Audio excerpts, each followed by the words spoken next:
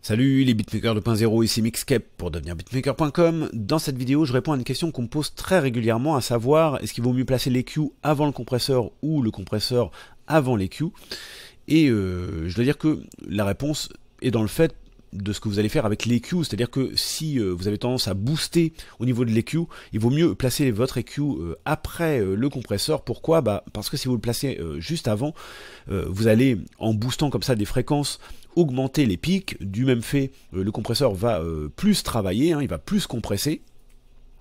Et du coup, on va obtenir un son moins naturel. Et euh, ça va avoir tendance également dans cette configuration à faire remonter euh, certains effets d'ambiance comme des réverbes ou même certains euh, bruits de fond hein, désagréables. Donc en règle générale, même s'il n'y a pas de règle stricte dans le son, hein, si ça marche bien comme ça et de boost avant votre compresseur et que ça vous plaît, il n'y a pas de souci avec ça, mais en règle générale, ce qu'on fait, c'est plutôt placer l'EQ avec des boosts après le compresseur et d'ailleurs, je vais euh, vous montrer un petit exemple euh, qui va euh, bien vous, faire comprendre la chose. Hein. J'ai ici un pluck que je vais vous faire écouter en solo déjà. Donc brut de pomme, sans effet.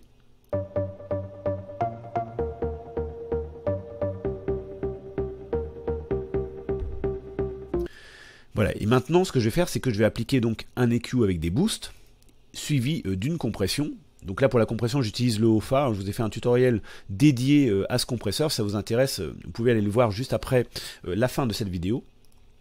Donc on va déjà écouter dans cette configuration, et puis après ce qu'on fera c'est qu'on inversera, on mettra le comp avant l'EQ. Donc écoutons déjà comme ça, et en contexte dans la prod.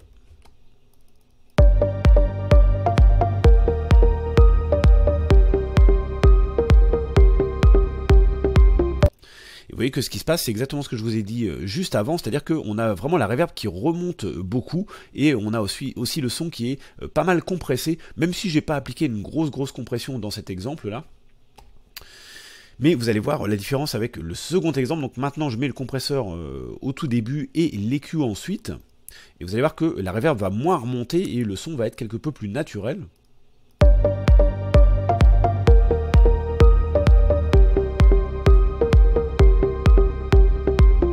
Voyez que du même fait, le, son de Pluck a, tendance à mieux euh, ressortir.